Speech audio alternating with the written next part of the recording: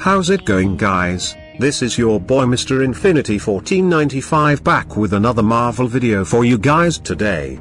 Make sure to hit the like button, hit the notification bell, and subscribe so I can keep you guys entertained.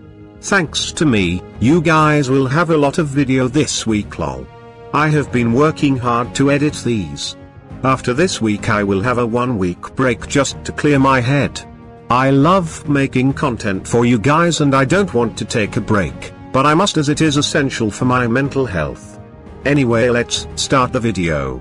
So today I will be reviewing the new Falcon and the Winter Soldier Season 1 Episode 2.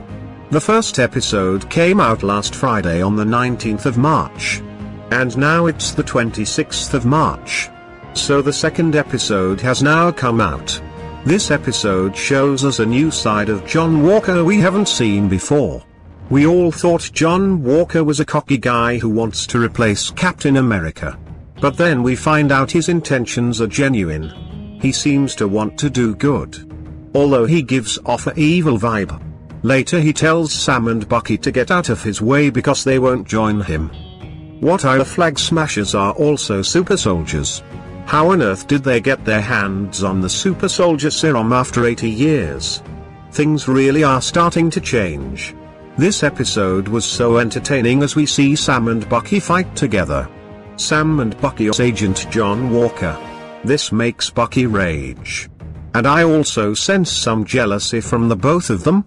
My favorite part of the episode is when Sam and Bucky are in a therapy session together.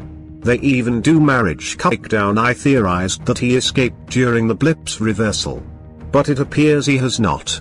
The reason why we saw Baron Zemo will play out.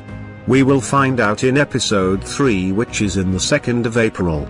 That's such a long time.